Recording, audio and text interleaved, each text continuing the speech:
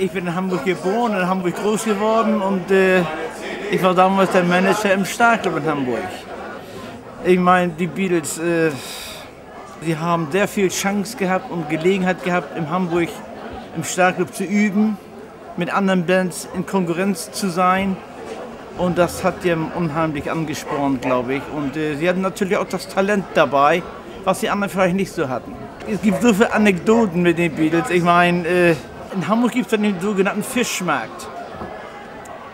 Und Fischmarkt ist ein Sonntagsplatz, wo Leute hingehen, die irgendwas noch kaufen wollen.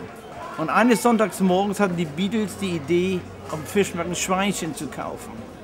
Und kaufen dort ein kleines Spanferkel und eine Hundeleine natürlich dazu und banden das diesem Schweinchen um und führten das Schweinchen an der Hundeleine spazieren. Und sie kamen auch in die Davidstraße und wollten nach Hause und mussten an der Davidstraße vorbei.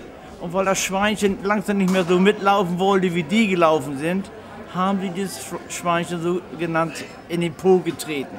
Und es hat eine, eine Dame, eine Frau gesehen und die ist dann zur Davidswache reingegangen und hat gesagt, da draußen quälen vier halbstarke, ein kleines Schweinchen. Und dann kam der Polizist mit raus und äh, hat dann die beiden, äh, hat dann die vier äh, verhaftet. Dann kriegte ich morgens einen Anruf, ich habe schon geschlafen, das war halb zehn, zehn. Sind Sie Herr Fascher? Ich sag ja.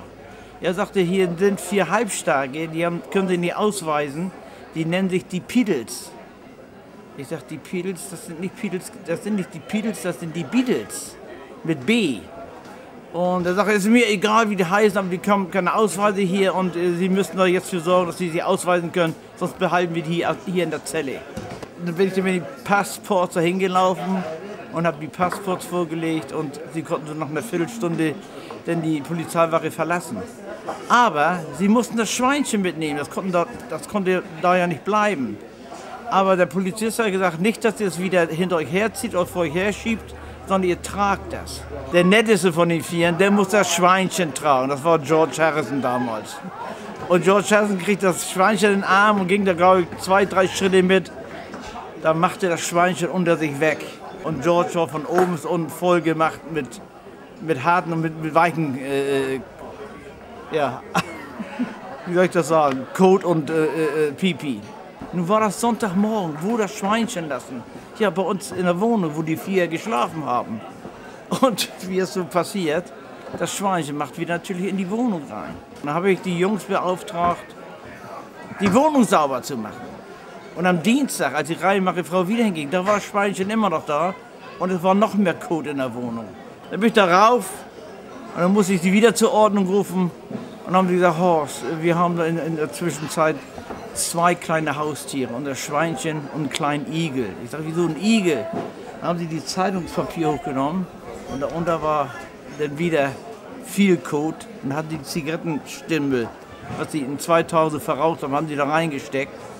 Und äh, jetzt haben sie einen Igel und ein Schweinchen und jetzt musste ich dafür sorgen, dass die beiden Tiere endlich aus dem Haus kamen. Und das habe ich auch gemacht irgendwie. Und es ist mir dann geglückt.